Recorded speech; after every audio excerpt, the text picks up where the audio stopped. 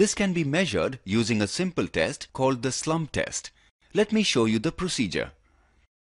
Slump cone test is a simple and popular test extensively used at sites to assess the workability of the concrete mix.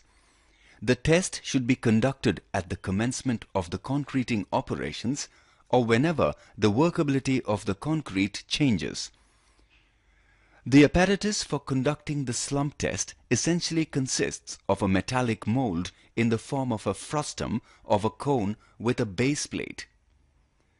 A steel tamping rod of 16 mm diameter and 60 cm height is to be used for compacting. The internal surface of the mold should be thoroughly cleaned of moisture and any hardened concrete before commencing the test. The mold is placed on a smooth, horizontal, rigid and non-absorbent surface. It is then filled in four layers with the thickness of each layer being approximately one-fourth of the height of the mold. Each layer should be tamped 25 times evenly using the rounded end of the tamping rod such that strokes are uniformly distributed over the cross section. After the top layer is tamped, the concrete is leveled with a trowel so that the mold is filled exactly to the top.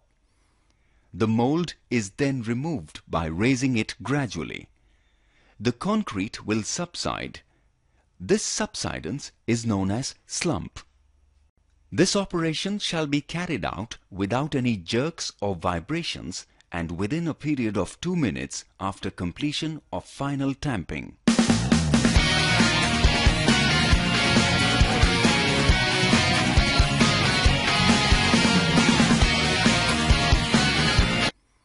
The difference in level between the height of the mold and that of the highest point of the subsided concrete is measured. The subsidence measured is the slump of the concrete.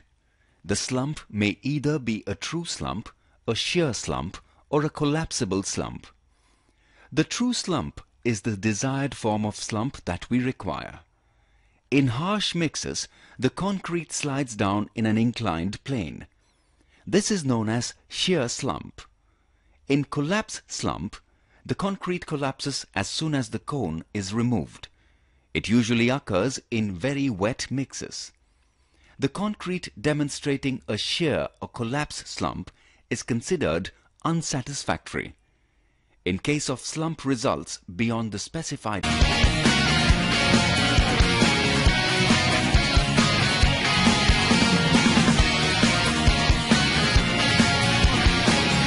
proportion needs to be adjusted, especially the water content.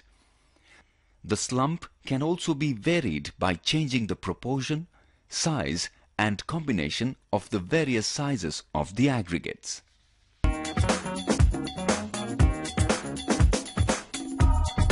Compressive strength is one of the critical properties of concrete to be tested as it is linked with load carrying capacity and durability. Come, Let's see how the cubes for compressive strength test are cast. This is a simple test consisting of cast cubes of concrete tested on a compression testing machine after the concrete hardens. Most of the desirable properties of concrete are qualitatively related to its compressive strength. Generally, specimens are cast in steel or cast iron molds of 150 by 150 by 150 millimeters, the mold should have rigid connection with base essential in order to prevent the leakage of mortar during compaction. The cube is filled with fresh concrete in three layers and compacted well using standard tamping rod of 16 millimeter diameter and 60 centimeters long. Each layer should be compacted with 35 blows. The tamping rod should enter the previous layer while tamping the subsequent layer. After compacting the top layer, the surface is made in flush with edges of mold using a trowel. The mold is covered immediately with damp Hessian cloth and left undisturbed for 24 hours. Site specimens should be stored in 22 degrees Celsius to 32 degrees Celsius. The cubes should be marked with suitable identification number when slightly hardened to facilitate easy identification at different ages. After 24 hours, the mold is stripped off and the cubes are to be stored in water for further curing till it is taken out just prior to testing. Curing water temperature should be maintained at 24 degrees Celsius to 30 degrees Celsius. The cured cubes are then tested on a compression testing machine after 3, 7 or 28 days.